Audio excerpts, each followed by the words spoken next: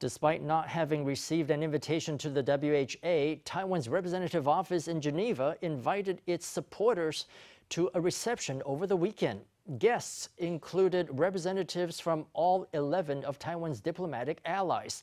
The health minister of Tuvalu said his whole country was behind Taiwan and rallying for its bid to be part of the WHO.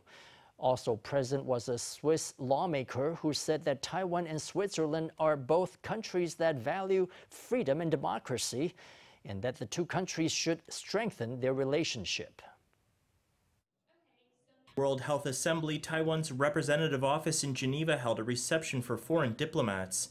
Those who came to show support included not only representatives of Taiwan's 11 diplomatic allies, but also members of the Swiss parliament.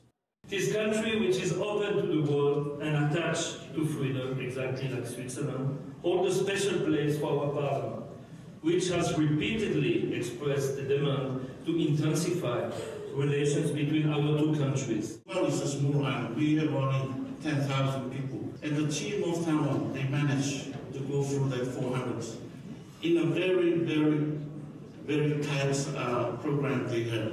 They stayed there only for two weeks. One of my duties as a Minister of Health is to strengthen and then continue to support Taiwan to be a member of the WHO family.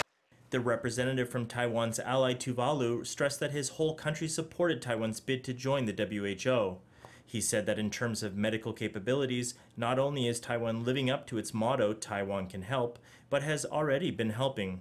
While Taiwan's health minister, Xue Ruiyuan, confirmed that this year Taiwan would not receive an invitation from the WHO, Taiwan is gaining more and more international allies.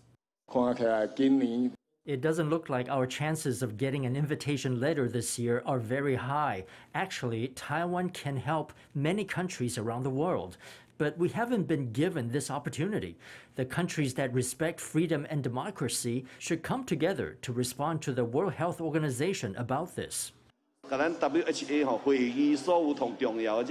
We should gather together all the important topics of the WHA meeting, the medical and health issues, and simultaneously broadcast them via video conference in our legislative yuan so we can respond to all the things that the WHO is discussing. That's how Taiwan can respond and absorb it.